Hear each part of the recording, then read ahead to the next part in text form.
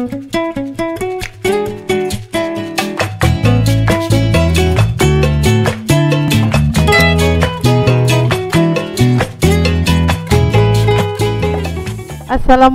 warahmatullahi wabarakatuh Selamat sore bas saudara semua Jumpa lagi pada acara Bincang Santai PTA Ambon Saya Anitua Huns dan narasumber kita kali ini Bapak Dr. Andes Haji A. Nurjiat Hakim Tinggi Pengadilan Tinggi Agama Ambon Bagaimana kabar Pak sehat?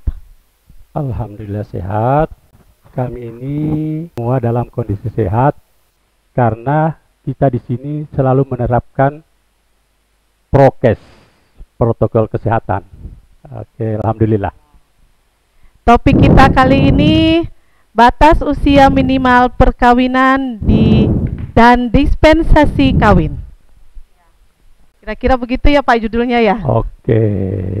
Yap. Pertanyaan saya Pak, menurut Undang-Undang Perkawinan berapa batas usia minimal perkawinan dan dispensasi pada peraturan undang-undang perkawinan, Pak. Oke, baik, Mbak Ani. Uh, ini masalah dispen ya. Proses per, proses pernikahan diatur berdasarkan Undang-Undang Nomor 1 Tahun 1974. Di situ di dalamnya memuat termasuk dispensasi kawin atau istilahnya pernikahan dini ya. Biasa kan orang itu ada bahasa istilah ya pernikahan dini, ya, tapi di dalam undang-undang tidak seperti itu. Di undang-undang itu bahasanya pernikahan di bawah umur atau dispensasi kawin. Itu tahun 1907 dalam Undang-Undang Nomor 1 tahun 1974 eh, bat, batas usia itu ditetapkan 16 tahun untuk perempuan dan 19 tahun untuk laki-laki. Namun berjalan dengan berjalannya seiring dengan berjalannya waktu eh, ada perubahan dengan Undang-Undang Nomor 16 tahun 19, tahun 2019 di mana batas usia dinaikkan perempuan menjadi 19 tahun juga laki-laki artinya sama antara perempuan dan laki-laki usia masing-masing 19 tahun. Kira-kira dengan adanya perubahan undang-undang, Pak. Bagaimana pengadilan agama menyikapi hal ini, Pak? Oke, makasih Mbak Ani. Dengan perubahan ini, jangankan dengan sebelum perubahan sebenarnya itu di pengadilan agama pengalaman di pengadilan agama itu kita mengalami banyak perkara mengenai masalah dispen itu karena e, artinya dalam undang-undang nomor 1 tahun 74 itu kan masih pak umur eh, 16 tahun untuk perempuan, eh, 19 tahun untuk laki-laki. Itu pun kita banyak perkara-perkara yang mas mengenai masalah dispen ini.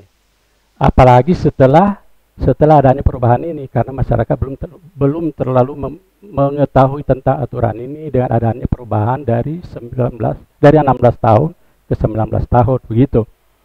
Dengan perubahan itulah sehingga eh, pengadilan banyak menangani perkara-perkara dispen itu, utamanya kita orang-orang di daerah ya, di PPA di daerah itu.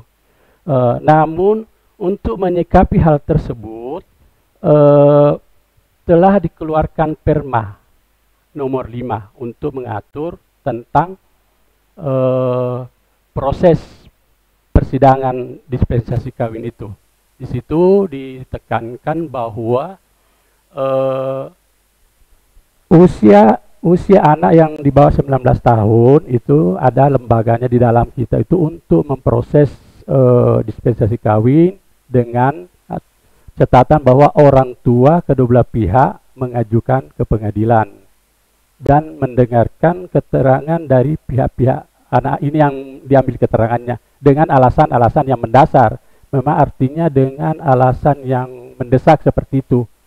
Ya kebanyakan di daerah ya eh, alasan-alasan uh, itu apa yang mendas biasanya itu mengenai uh, sudah tidak bisa lagi dipisahkan karena sudah menjalin hubungan sekian tahun akhirnya tidak bisa dipisahkan. Terus ada satu hal lagi yang biasa yang pernah kita alami di PA itu dengan alasan sudah hamil. Tapi kita di pengadilan tidak begitu saja langsung mau merespon itu. Kita harus di, di, di, dikelola dalam persidangan yang dengan alasan-alasan itu harus dengan bukti-bukti. Kalau dengan uh, alasan hamil itu kita har harus ada keterangan dokter untuk untuk mendukung itu. Uh, uh, begitu. Jadi tidak semua itu bahwa alasan-alasannya itu bisa kita terima begitu saja dengan alasan itu kita bisa meloloskan. Iya, menarik ini Pak. Menarik ya. Satu kali pertanyaan lagi Pak, satu okay. lagi Pak. Bagaimana apabila calon pengantin ini belum cukup 19 tahun ya Pak okay. ya? Nah, tetapi dia bersikuku untuk menikah. Iya. Kira-kira bagaimana ini Pak? Ya itulah tadi saya sampaikan bahwa kalau memang sudah apalagi pengalaman kita di daerah kan, dia pergaulan di sana ya begitulah akhirnya dia orang tua kedua belah pihak kan harus bermohon ke pengadilan.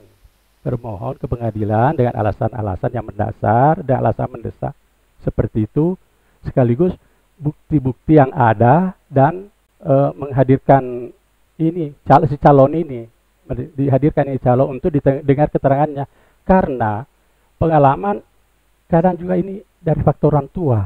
Anaknya itu kan masih ini. E, pengalaman saya juga tentang persoalan ini, kadang kita yang memberikan dispensasi, bahkan kita lagi yang menjidangkan untuk perceraiannya. Itulah yang kita harus antisipasi itu seperti itu. Dengan adanya dengan adanya Perma nomor 5 itu kita bisa iya mengantisipasi. Iya. Cukup menarik ini Pak ya. Mudah-mudahan apa yang disampaikan Bapak bisa dipahami sama orang tua dan anak-anak ah, semuanya Pak ya. iya. iya. Terima kasih Pak sudah hadir di sini. Semoga Bapak sehat selalu juga, ya Pak ya. Iya, atas iya. waktunya untuk memberikan wawancara ke kami walaupun ya seadanya ya. Oke. Oke. Oke, demikian Mbak Saudara semua kita tutup acara bincang santai PTA Ambon ini dengan Wassalamualaikum warahmatullahi wabarakatuh. Waalaikumsalam. Selamat sore.